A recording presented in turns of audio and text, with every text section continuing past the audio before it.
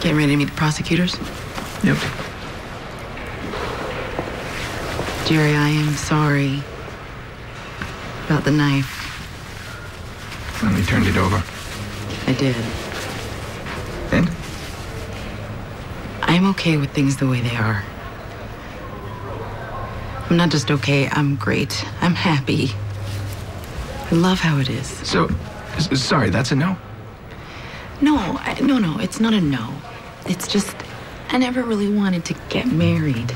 Ever. You know, I don't like the stats. Four out of ten marriages end in divorce. You know, I don't love the vows. Love, honor, obey. I've never, I've never obeyed anyone in my life. Trish, you don't want to get married. We don't have to get married. Here's the thing. I do all day is analyze facts. I focus on the proof and I assume that everyone I'm dealing with is lying. You know, but you and me,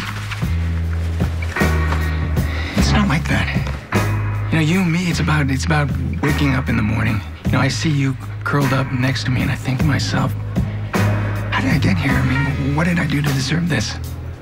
Trace, I get that you're scared. I mean, we, we have no idea if this is forever. But sometimes you just gotta just gotta believe in the unbelievable. I, I guess I guess I think that's the point.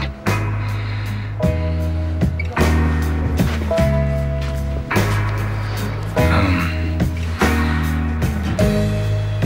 So in the words of my favorite band, You're about to quote Coldplay? you know what?